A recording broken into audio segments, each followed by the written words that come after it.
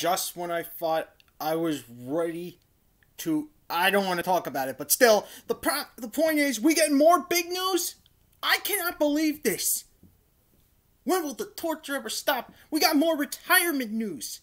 Here I thought Indianapolis Colts left tackle Anthony Castonzo wasn't enough, but this time it's a, but this time it's a defensive coordinator, and this is Ch- Chuck Pagano. Pagano. That's right. That is right. Chuck Pagano is announcing his retirement. I cannot believe it. Unbelievable. Well, looks like Ch- Chuck Pagano ends uh, ends his career with the with the Chicago Bears. On a high note, with a with the Chicago Bears. You could take a bow, Chuck. You could take a bow. Knowing that your last game against the New Orleans Saints in the wild card round was your last. Now the Chicago Bears, they're in line for a defensive coordinator.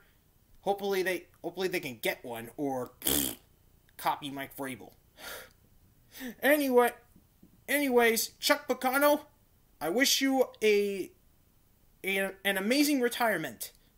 See you all when I bring you even more breaking news.